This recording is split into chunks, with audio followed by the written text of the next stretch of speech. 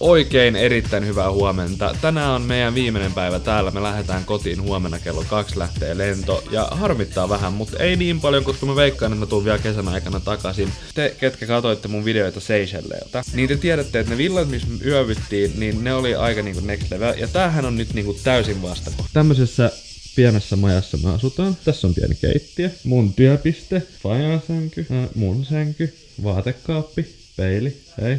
Ja täällä on tämmönen pikku terassi. Tuolla näkyy meri. Nyt kun mä lähdin yksin ja tää oli tämmönen extempore-reissu, niin mä en varannut hirveästi rahaa tähän. Niin tää huone maksaa meidän niin 35 euroa yöltä. Kun mä tuun tänne, mä tykkään kuitenkin niin kuin käydä rannoilla niin paljon ja mä oon päivät pitkät rannoilla, että mä en tarvi, mutta onhan se tietysti kivempaa, jos se olisi niin kuin villa-altaan kanssa ja niin poispäin, mutta Tää on nyt tämmönen ja kelpaa ihan.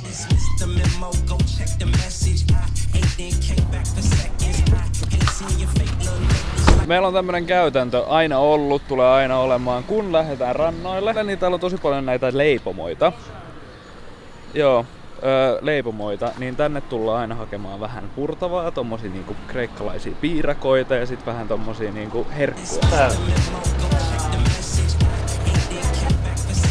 Herkkuja, vähän juotavaa. Mut nyt mennään rannalla, mennään Petani Beachille, joka sijaitsee tyyliin 15 kilometriä Argosta olisi niinku äh, ton viiken. Mikä on viik? Siis kun kaksi molemmilla puolella on niinku maata ja sitten siinä on meri keskelle, niin se on ruotsiksi viik. Onko se? Niin me mennään nyt toiselle puolelle viikkiä. Öö, nautitaan varmaan siellä. Jatketaan jossain kohtaa, en tiedä missä, mutta rannalle taas. Mä oon vähän niinku palannut. Mun lähti iho. Niin nyt pitää korjaa asiaa, että mä en tuu ihan valkoisena otsasta kotiin. Mut joo, nyt rannalle. Kefalonialla on tosi niinku monta hiekkarantaa kanssa, mutta mä en niinku tykkää niistä, tai siis mä tykkään niistä, mutta siis nämä rannat, missä me ollaan käyty nyt melkein joka päivä, niin ne on tämmösiä niinku kivirantoja, että on tämmösiä hienoja valkoisia pieniä kiviä. Vesi on paljon kirkkaampaa, kun ei ole tommosia niinku pieniä hiekka... No, no kun ei ole tommoista pientä hiekkaa vedessä, niin vesi on tosi paljon kirkkaampaa ja siksi me käydään tämmöisessä rannassa. Mutta täällä on tosi paljon hiekkarantoja myös. Ei tää lomailukaan hirveän helppoa oo, kun on 35 astetta lämmin niin kuin varjossa. Kun makaa 4-5 tuntia siellä, vähän palannut, aurinko paistaa päälle koko ajan ja joo, on juonut tarpeeksi, mutta kuitenkin niin kuin mä oon ihan rikki, pää kipeä, niin kuin, joo, palomailukin on joskus raskasta, mutta nyt mennään kotiin suihkuja semmoista. Jatketaan varmaan illemmalla, kun mennään syömään tai jotain vastaavaa, mutta tota noin, joo, ihan mukava päivä ja harmittaa vähän se, että on viimeinen.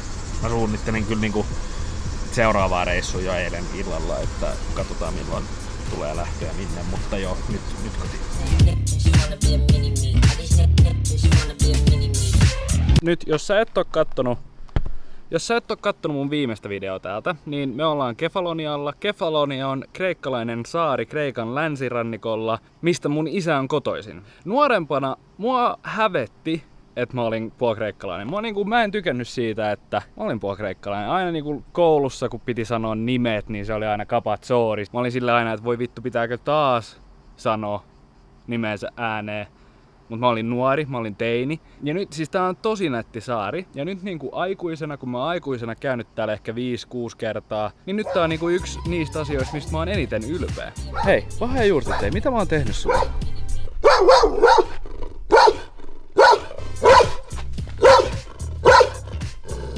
Easy.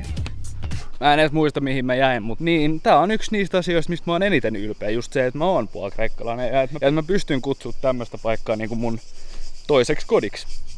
Niin, joo. Se olisi kotiin lähdön aika. Vittu. Lähdetään nopeasti mummille viettää vähän hänen syntymäpäivää, joka ei ole siis tänään, mutta kun me nyt kerrankin ollaan täällä ja on kuitenkin suht kohta, niin mennään syömään vähän kakkua.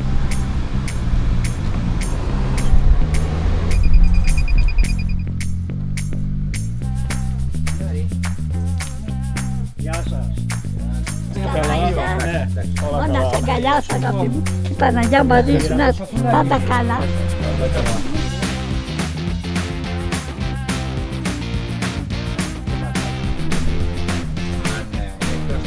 Παράδειγμα, miomuna.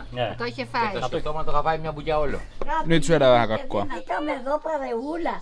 Aika paame o enasto nalones. Ei, O mulla se tosta masta pois, stikula. missä näitä Eh, ne. Sota kata fermente kamia foraka litera. Joo, siis isoäiti täyttää 94 vuotta huo yli huomenna, joten me vietetään sen synttereitä nyt kaksi päivää etuajassa, kun me ollaan täällä. Ja täällä ulkona me vietetään aina tosi paljon aikaa, kun me tullaan tänne. Isä viettää enemmän kuin minä, mutta tota noin...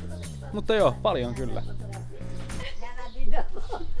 Μαρίνα και να γράψουμε και τραγούδι. Για Μαρίνα, σε κατεχέλσουμε. Μαρίνα, Μαρίνα, είναι μαμά με το παιδί. Νόρι.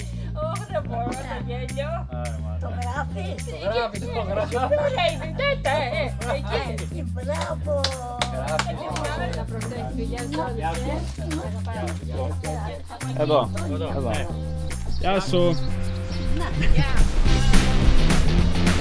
Γεια σας. Jäsas, jäsas.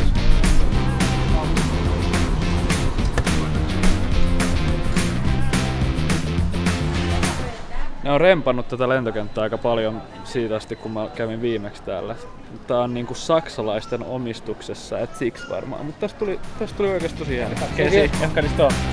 Yes.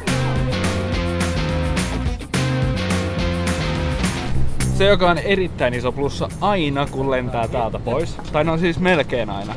Riippuu vähän, että minne lentää.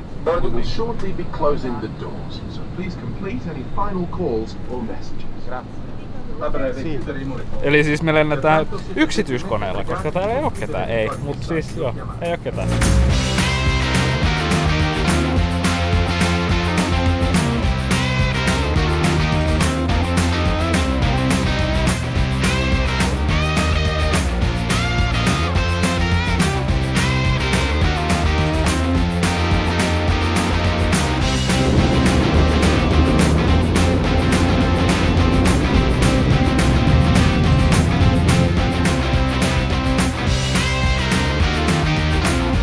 Tää oli yksi niinku mukavimmista lennoista pitkään aikaa. Mä niin toivon, että se meidän seuraava lento olisi kans ty- tai ei se siis näin tyhjä tuu olemaan, mutta että se ei olisi ihan niinku täynnä. Thank you. Tää no 29 grader.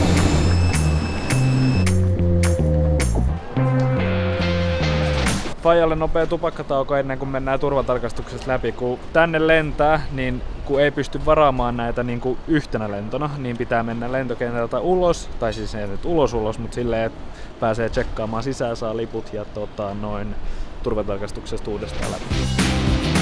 Ja nyt kun kerran Italiassa ollaan, niin pitäähän tää nyt niinku tilaisuus hyödyntää. Ja syödä oikeeta pizzaa.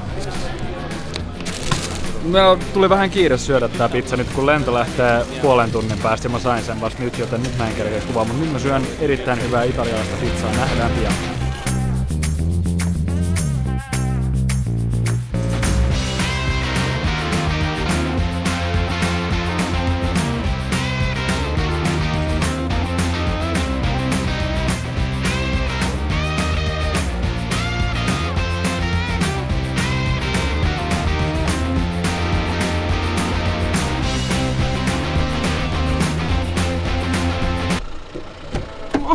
Morjes.